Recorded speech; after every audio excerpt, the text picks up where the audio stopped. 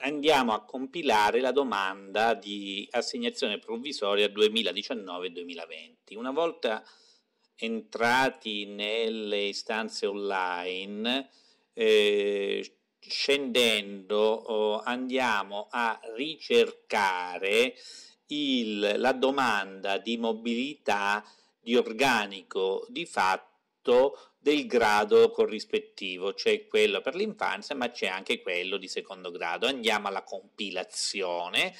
Una volta effettuato l'accesso alla compilazione andiamo e facciamo accedi per eh, entrare eh, nella, eh, nella, mm, pagina dove si inseriscono le domande, c'è l'inserimento del, della domanda di utilizzazione provinciale, l'inserimento della domanda di utilizzazione interprovinciale e l'inserimento della domanda dell'assegnazione provvisoria. Si sceglie la provincia, nel mio caso vado a inserire Reggio Calabria e compilo. In questo caso, essendo io titolare a Reggio Calabria, sarà una uh, in, eh, provinciale, un'assegnazione provvisoria provinciale. C'è la sezione D delle precedenze, al punto 7 c'è la precedenza per i non vedenti, al punto 8 l'insegnante che usufruisce la precedenza degli emodializzati, al punto 9 abbiamo la precedenza che è riferita all'articolo 8,1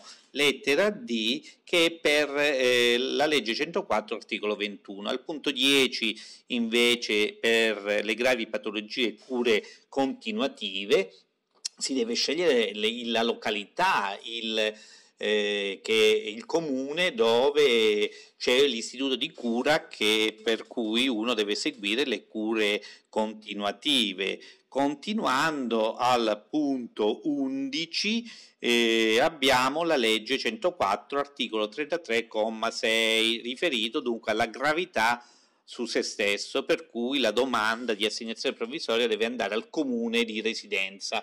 Punto 12a è riferito all'articolo 3, commi 5 e 7, precedenza per il figlio.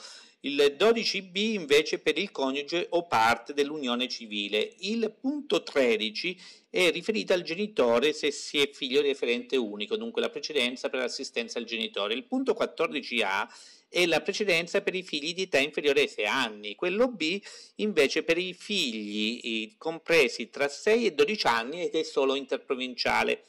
Il punto 15, la N è riferito alla precedenza per assistere un parente o un affine eh, entro il secondo grado oppure il terzo grado nel caso se il coniuge della persona handicappata o non esiste, cioè è mancante oppure è un ehm, coniuge che ha superato i 65 anni di età. Poi il punto 16 si divide in A, B, e C e D il punto A è riferito al personale cessato dal collocamento fuori ruolo, il punto B al coniuge di un militare trasferito d'ufficio che abbia eletto il eh, domicilio all'atto del congedo, eh, il punto C eh, si rifà alle cariche pubbliche nella pubblica amministrazione. E il punto D è riferito all'aspettativa sindacale. Poi c'è la sezione F riferita alle esigenze di famiglia per il ricongiungimento al coniuge, per esempio nel mio caso nel comune di Reggio Calabria e si acquisiscono anche sei punti sul comune dove si chiede il ricongiungimento al proprio coniuge.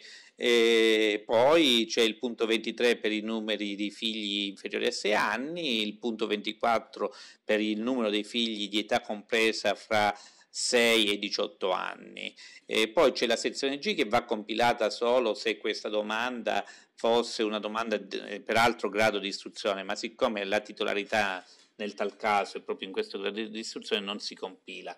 E, ehm, poi eh, il eh, c'è la sezione H per esempio ehm, molto interessante riferita ai titoli posseduti per il sostegno. Nel, nella, fattispecie, nella fattispecie vediamo mh, mm, eh, il, i minorati della vista, il minorato dell'udito i minorati psicofisici. Eh, importante è, è sottolineare che quest'anno oltre la possibilità del indicare se si possiede il titolo di sostegno e dunque scegliere anche i titoli posseduti sul sostegno, è importante come si può vedere nella sezione I che oltre a, a indicare posti normali o posti di sostegno eh, c'è anche la possibilità dei corsi serali o delle cattedre orarie esterne, cattedre tra scuole dello stesso comune o cattedre tra scuole su comuni diversi oppure se uno non vuole una solo cattedra intera non fa, fa nessuna selezione. Ma dicevo, la novità è il docente in, non in possesso del titolo di specializzazione, cioè coloro che hanno eh, o, o, in conclusione di un corso di specializzazione del sostegno, cioè hanno fatto almeno un anno di corso di sostegno, oppure possono eh, aver fatto almeno un anno di servizio sul sostegno e poi le classiche altre, eh, gli allegati, le, le preferenze, eccetera.